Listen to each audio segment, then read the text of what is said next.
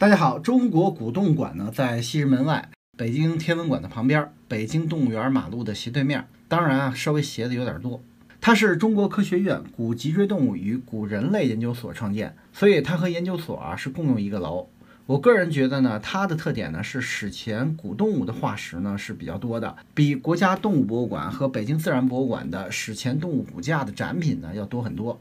博物馆不大，一进门左手边呢是付费的儿童游乐区和博物馆唯一的厕所，右边呢是博物馆正式的入口。虽然一进门检票的吧台啊与其他博物馆相比啊确实有点草率，显示不出中国古动物馆的这个称号，但是确实呢也不影响实际的功能。整个一层大厅不大，周末孩子比较多啊，显得更加拥挤。很明显啊，咱们能看到一个达尔文实验室，在这里呢，孩子可以亲手做实验。当然，实验是需要另外付费的。实验室的左边呢有商店以及 3D 影院的入口，这些呢都是需要另外购票的。那下期视频呢，我会具体跟您说。吧台对面的小门内呢是博物馆的第一个参观展区——人类演化馆，分为直立为人、头脑革命、神州古人、荒野求生。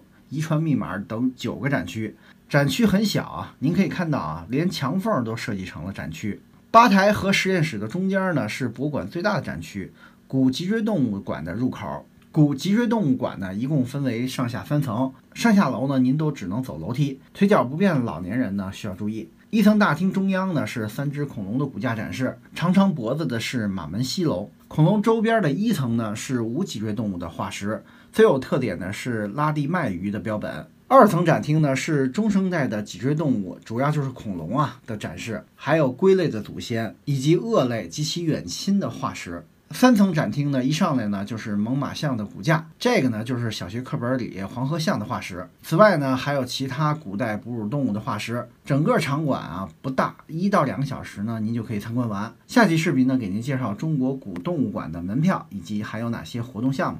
更多旅行实用攻略，请观看视频合集。麻烦点赞、收藏、加关注哦！